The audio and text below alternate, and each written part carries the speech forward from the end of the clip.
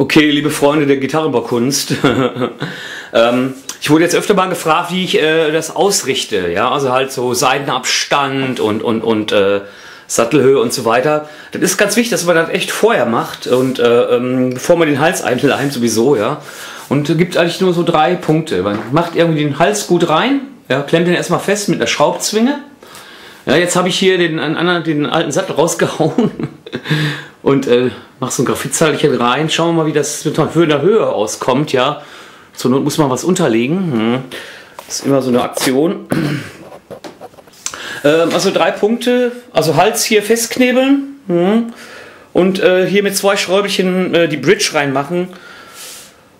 Äh, und äh, zwei Beschadigen aufziehen. Ja. Und dann zwei Seiten, die das Ganze dann zeigen. Ja. So, wäre der nächste Schritt. Mache ich jetzt mal eben kurz. So, äh, wie man äh, die so zwei Schrauben reinschraubt, brauche ich ja nicht zu zeigen. So. So, nun haben wir das mal so ein bisschen aufgebaut hier, ja.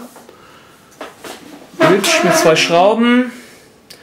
Und schauen wir mal hier schön nach, wie das ist mit dem Seitenabstand. Ja.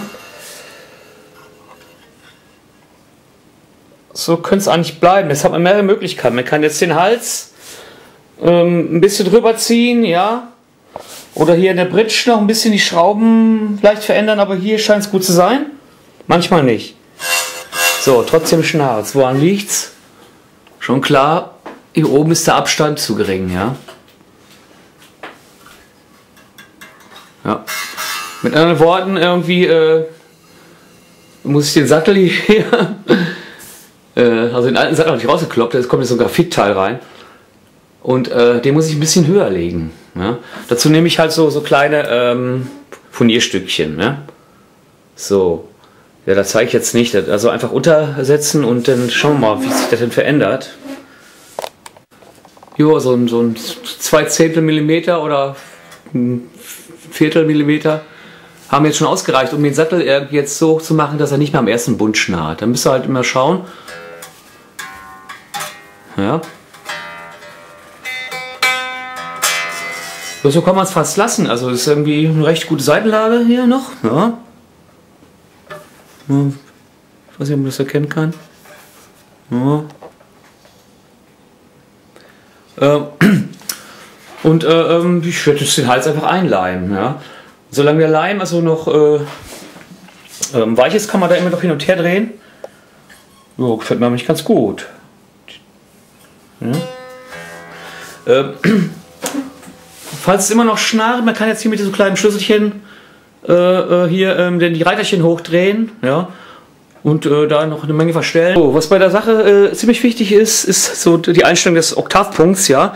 Wenn da jetzt viele Unterschiede sind zwischen jetzt diesem Flageoletton, also diesem, ich tupfe halt nur mit dem Finger auf den zwölften Bund und drücke den Ton. Das muss also der gleiche sein. Die beiden müssen identisch sein, ja.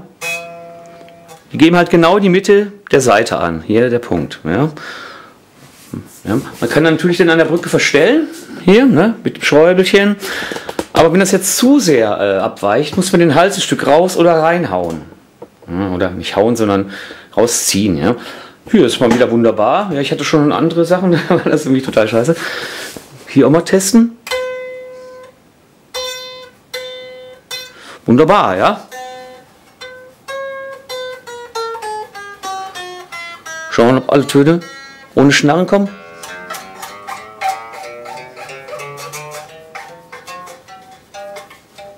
War nicht wunderbar. So lasse ich das jetzt, ja.